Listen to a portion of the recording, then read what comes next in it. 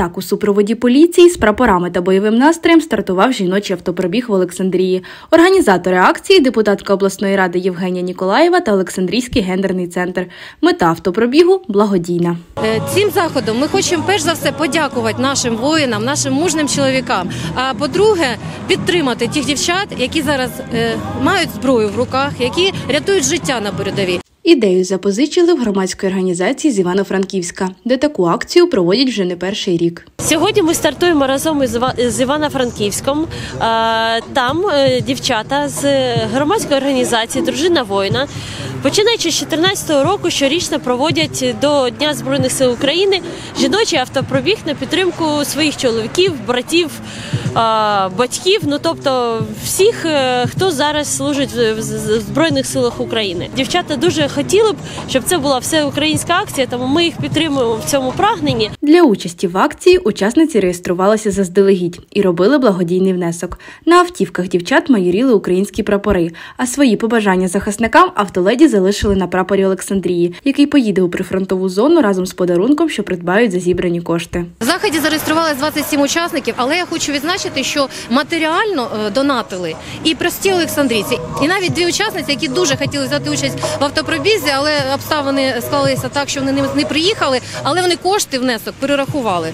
Е, Раніше цей захід тут мав дещо інший формат. Е, Я його е, організовувала і присвячувався він більш гендерної тематики. Був святковий напередодні міжнародного жіночого дня.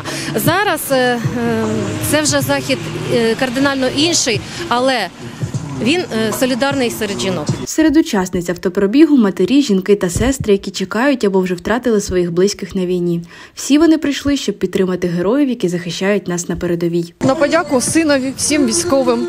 Чоловік він теж військовий, Нацгвардія України, син ЗСУ. Я хочу підтримати всіх військових. Я благодарна каждому парню, не только своему сыну, да, который для меня э, герой. Это гордость, что мы можем вот так вот э, поблагодарить наших парней, э, которые э, сейчас на передовой, да, вот мы э, делали взнос определенный, чтобы их поддержать. Під час акції організатори зібрали 13 тисяч 300 гривень. За ці кошти разом з волонтерами придбають два кісткових катетери. За ці гроші ми купимо цей катетер косний, і він буде переданий медикині, яка сама Олександрійка, і зараз е, рятує наших військових на лінії зіткнення.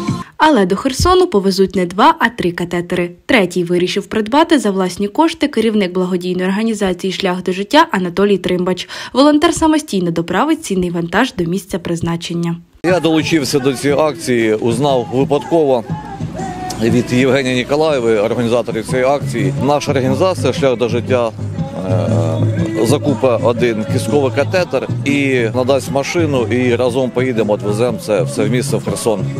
Завершився захід на військовому кладовищі, де автоледі поклали квіти до могил загиблих захисників, вшанували героїв хвилиною мовчання та довгим сигналом автівок. Анастасія Гугленко, Ростислав Найденко, телевізійні новини СІБІН.